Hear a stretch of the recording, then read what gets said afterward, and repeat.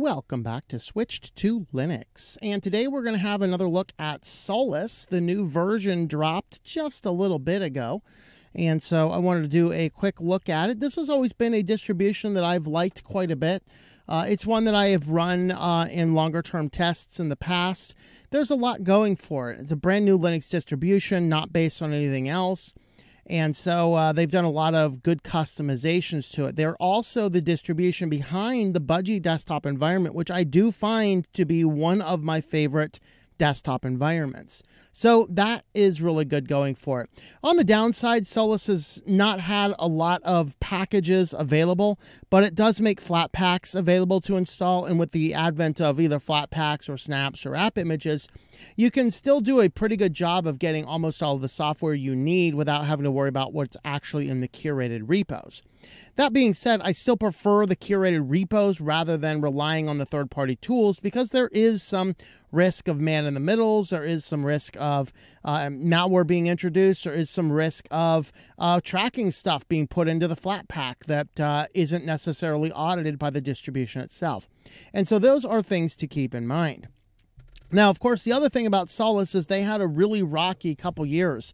Uh, 4.3 was released almost two months or two years ago. In fact, if I remember correctly, I believe it was um, uh, two years ago. They had a little bit of an upset. The original project developer left, and uh, then they had this big outage the beginning of this year, if you remember the big outage. So they did this blog post here talking about the average outages and what caused it. Basically, it was caused by the fact that their entire website and entire infrastructure was on a physical server at MIT. And uh, the problem with that, running just a physical server at MIT, is that um, uh, one person only one person could access things and this happened in like january february and uh, it, there were some issues going down and it caused a giant server infrastructure. They attempted to get things up, and they are not um, successfully getting up there uh, these days. Uh, but what they've done is they have migrated to more cloud infrastructure. They are using uh, Bitwarden for their security. They are using DigitalOcean to uh, host their servers, so multiple people now have the ability to get in and manage the websites, the software, and things like that. And then moving forward, they've put in enough changes to make sure stuff like that doesn't happen again. So that is what they have been doing, and that's why they had a really rocky year and why we hadn't seen a new Solus release for a couple of years. But the new version is out. And you can head on over to their download page, getsol.us slash download. And uh, there are a few different options. Of course, their flagship is the Budgie. They are the ones who have created the Budgie desktop. And so, if you want the best vanilla experience of Budgie, Solus is definitely the place to get that. They also have a GNOME version. And uh, this one uh, just basically has vanilla gnome on it. They have a Mate version and a plasma. Now, I'm going to mention here, and we'll get more into it in a bit, Mate is going to be depreciated. So this is going to be the last release with a Mate version. They are going to be releasing an XFCE, and this has to do with Wayland support. So this is an interesting little side discussion. I debated whether or not I should talk about it, but let's go ahead and just uh, uh, get into the notes, and then we'll get into that just a little bit. So here, of course, are your four versions. We have general uh, default applications, Firefox 114, LibreOffice 7.5, Thunderbird 102. And so we have the latest up to date software on each of those. As far as audio and video playback, they indicate their applications. Um, uh, Rhythmbox for audio, except for uh, Plasma that has ELISA, and uh, Budgie and GNOME have Celluloid for video. Mate has VLC and it looks like uh, Plasma has Haruna.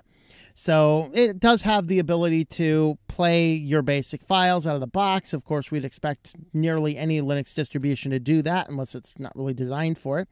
We do have secure boot support. So if you are looking for uh, a distribution with secure uh, secure boot, you have documentation for enabling it, but you can go ahead and secure your boot on your system.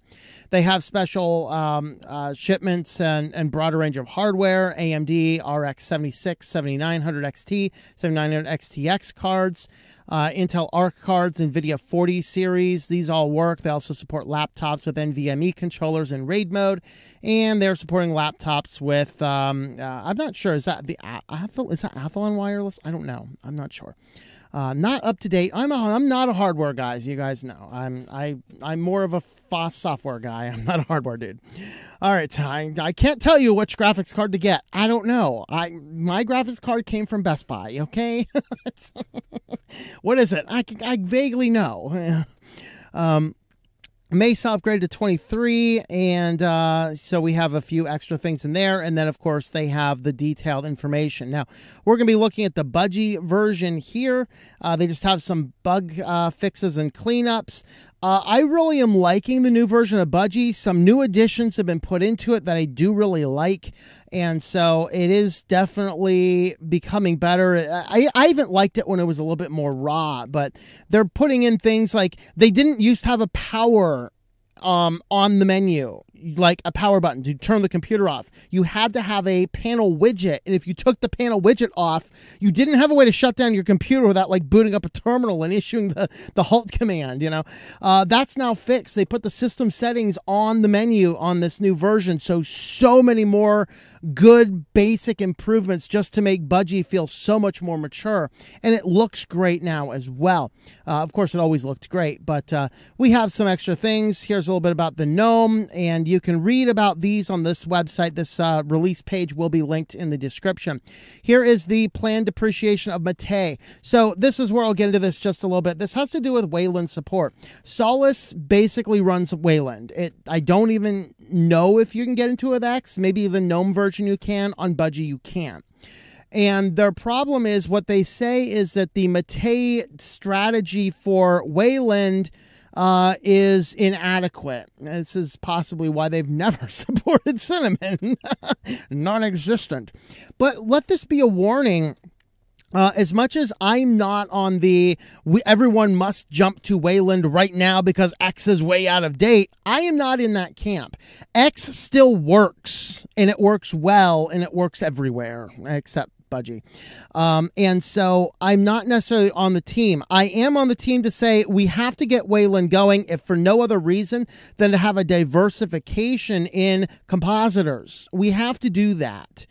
And uh, there will come a time that Wayland is definitely mature enough to support everything. And on that day, I will probably switch to Wayland first myself.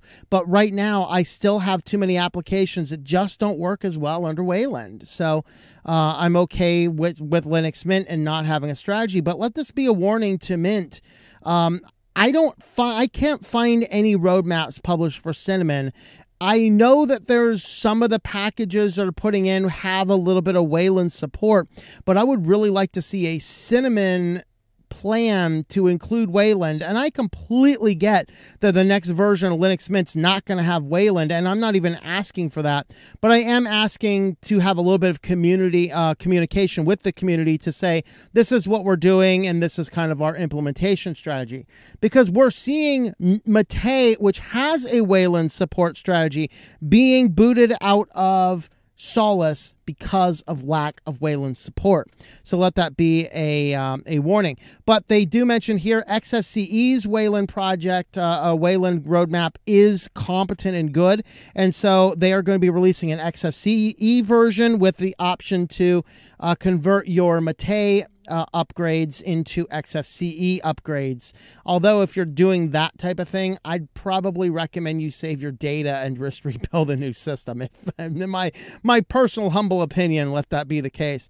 And then here's your plasma. Again, just have some some updates. Uh, so they have some upstream uh, notes. Of course, Plasma is shipping with 527, and uh, that's what you get. So that is what we are seeing. And now, what we would like to do is we would like to boot into the uh, system itself just to have a look at what this is going to look like. And this code name is Harmony. So let's go ahead and head on over to the desktop as it continues to boot up and we were running this on my VirtualBox. Uh, the first thing is during the install, it did not let me choose a short password, which I like to do on my uh, on my uh, virtual machine tests, other than virtual machines that are using for some form of production value. Uh, so I don't like that. I could just go in there and probably change it in the terminal, but uh, let that be what it is. I came in here and pushed all of the uh, the updates. We did get a pop up. There were some updates to do, and uh, I I held my breath and crossed my fingers. If you'll remember, if you were a long term user of Solus, you'll remember about I don't know, I'd say about five or so years ago, Solus um, systems were imploding if you tried to run the update from the Software Center. Of course, if you are trying to run it from a terminal, which they don't have the uh, terminal hotkey there, um, this uses EO package, so it's a little bit different. So you're just going to do EO package upgrade. Of course, I need to do that as a sudo user. So it's not using your apt or your pacman. Uh, it is using uh, this system here. And so you can see that it's looking at saying, oh, everything is up to date. So, of course, you can uh, look at your help guide for what EO package works here. So you can add, remove, uh, add repos, remove things, auto remove stuff. It does actually have a feel very, very much like uh, apt. It almost feels almost exactly like apt. So if you've been used to using apt, it's probably going to work out well for you. Uh, here is your uh, Raven menu. Of course, they've just made it look slicker. I really like this. I mean, th this is something if I weren't running Cinnamon on some other systems, I might definitely try and run a budgie. I think it'd probably meet all my needs. If you're playing some form of music, then you'll you'll get a new uh, a new app over here um, with uh, just basically a streamlined audio app, but you can swap out all of your uh, devices and such over here. So if you want to go ahead and uh, do that, you can uh, certainly uh, do all those things from the budgie menu out of the box these days. Now, the other thing I had mentioned is they did finally put the power button down here. Woohoo! That might have been there for a couple versions, I'm not sure. But the latest version puts your budgie desktop settings and your main system settings over here. Now, that has always been a point of contention with Budgie is having two separate settings. So where do you go for them? At least they're both right here on the menu so you can see which they are. Uh, would it be good if they integrated these together? Eh, probably. And there's actually another settings on this thing as well, the onboard settings as well. So we got all sorts of settings all over the place. Uh, so that is one of the downsides of Budgie. You kind of got to know where things are. Of course, being based on GNOME, then uh, this is your basic GNOME settings panel. You'll recognize it from over there. It has all the hardware information, basically everything relating to the background of the system itself. You can see here we're running Solus, we're running 6 gigs of RAM. Uh, see our processor there, the graphics, and Budgie version is 10.7.2. OS name is Solus 4.4 Harmony. Oh, it is using X11. Okay, I'm completely confused now. I completely thought this was Wayland. I'm totally confused now.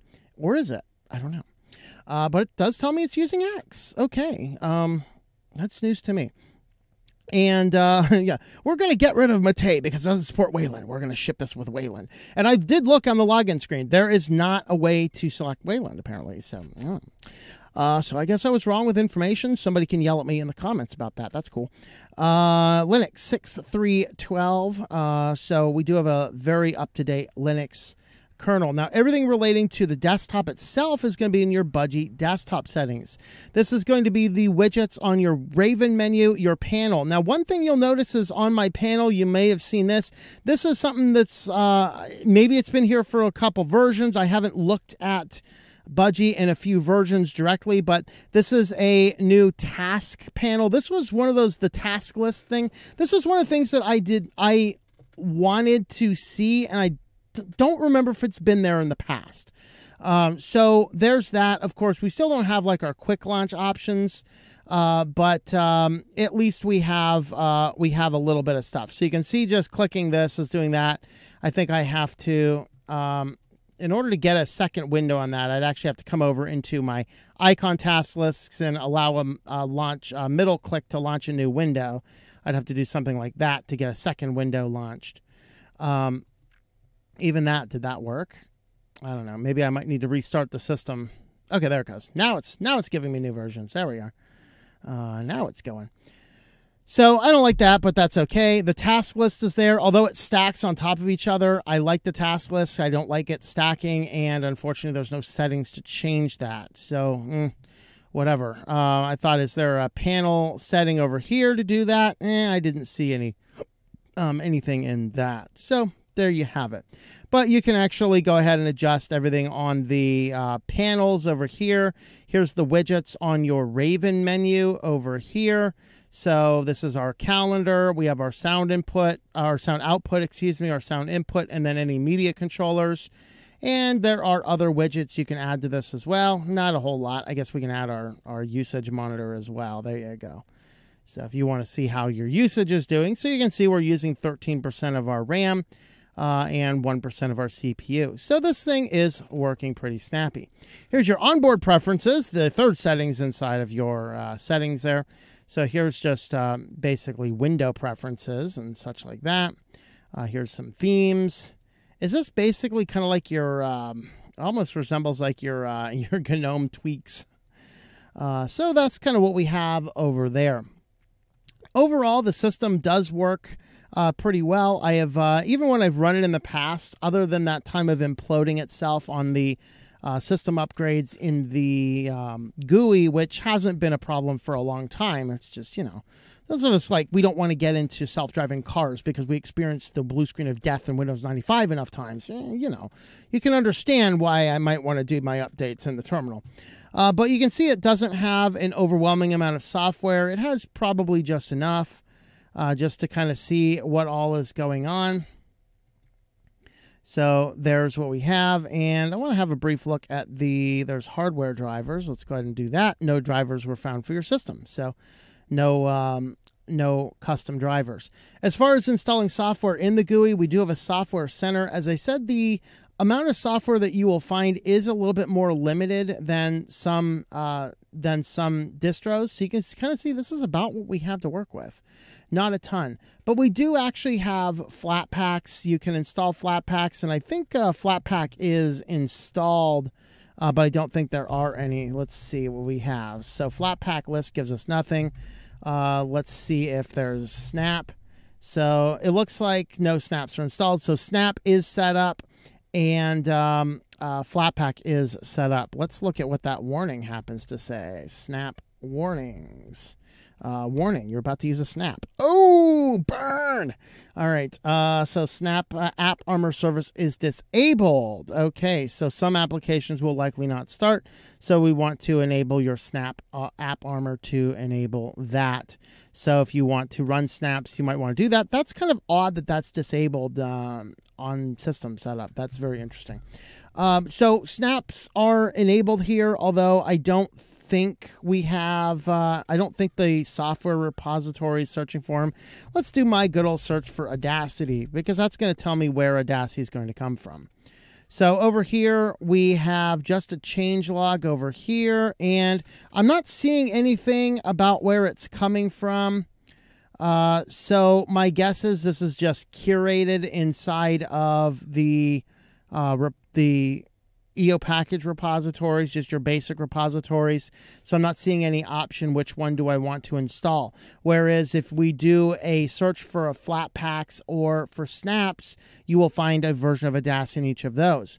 Uh, so that is, let's see, there's checking updates every hour and here's what's installed. Now, they do have these third parties. Uh, before I get to the third parties, one of the downsides of it is, while it does have some Snap and Flatpak support, it doesn't actually seem to have any stores uh, that are going to give us, uh, like any applications that are actually going to give us um, your uh, your Flatpaks out of the box. So, uh, in other words, there's no GUI interface for snaps, no GUI interface for Flatpaks. Let's go ahead and search for uh, simple screen recorder. I like this one because there's a few different versions in the Snap Store. I disagree with it, but oh, look at that. No simple screen recorder at all.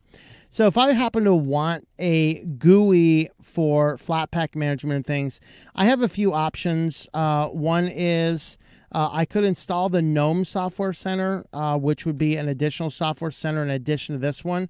Um, or if you're using snaps, for example, um, you can just come into your terminal and do. Uh, I think it's I think it's snap install snap store. I think this is it, and it's going to give ask us for that. Make sure I enter that right.